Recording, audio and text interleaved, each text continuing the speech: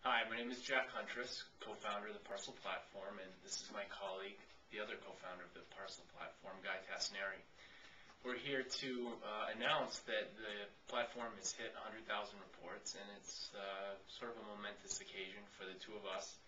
Um, we started the platform back in uh, 2002, which seems like a very long time ago, and I think we both remember when the platform did its first thousand reports and then the first 10,000. It's been a, come a long way. A lot of challenges. We uh, building a new market and just knowing that there's was a better way to do um, the work that we were doing. We started with uh, a lot of different uh, users and a lot of great feedback, and the platform just kind of mushroomed based on uh, their input, your input, and so uh, it's come a long way.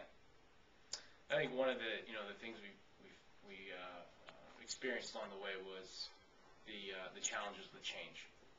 We were asking people to think about the process and reporting in a totally different way, and um, change, while we all know it's inevitable, is, is certainly a challenge. I really believe that through efficiency and consistency and management, doing doing your reporting on Parcel is better than doing your reporting in Microsoft Word and uh, challenged because we were owned by a consulting company, and uh, yet we were selling to other consulting companies.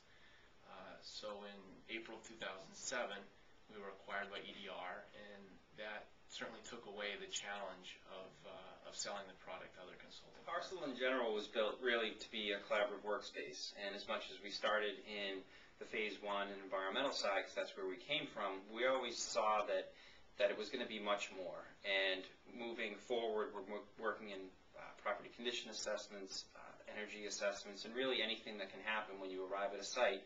The goal has always been that you can do it on parcel. And so uh, moving forward, we're really look, look, looking at new opportunities, uh, continue to work with our customers to understand uh, how we can continue to help. So we just want to say thank you. Thank you to our users. Thank you to uh, our supporters, those that believed in us over the years. It's been a great road. Uh, we hope those of you that are using the product continue to enjoy it, uh, continue to give us feedback. We uh, have always taken that feedback to heart. I hope you've experienced that, and, and we hope for uh, creating another video in another number of years at the millionth report.